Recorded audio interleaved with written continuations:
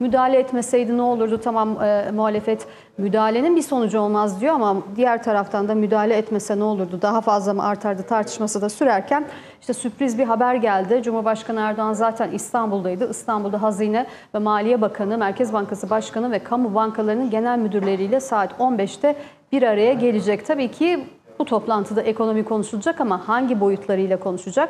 Şimdi dolarla ilgili bir takım değerlendirmeler yapılmasını bekliyoruz bu toplantıda. Şimdi Cumhurbaşkanı Erdoğan biliyorsun Devlet Denetleme Kurulu'na talimat verdi.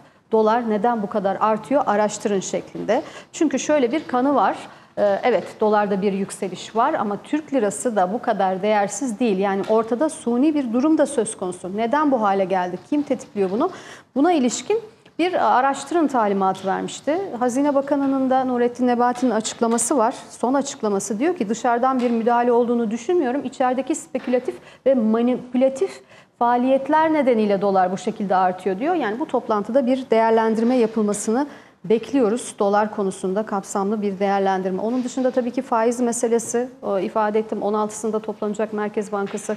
Onun dışında Nebati'nin verdiği bir mesaj daha var. Faizleri arttırmamak konusunda kararlıyız dedi. Yeni bir açıklaması bu.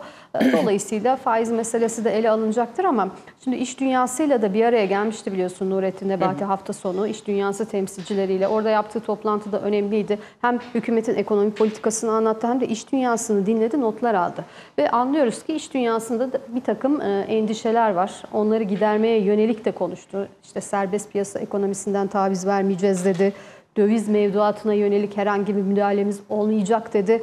İşte iş dünyasının beklentilerini, iş dünyasının işte bir takım endişeleri varsa e, bunları bu toplantıda konuşulacağını söyleyebiliriz. Bir de şöyle bir hazırlık yapılıyor. Bunu Cumhurbaşkanı Erdoğan da e, söylemişti. Bütçe araya girdiği için aslında biraz sarktığını tahmin ediyoruz. Bir kere bu yeni ekonomi politikasının e, halka daha iyi anlatılması gerektiği düşünülüyor. Ona ilişkin de Nurettin Nebati bir hazırlık yapıldığını açıkladı. E, Evet. kapsamlı bir sunum hazırlanıyor.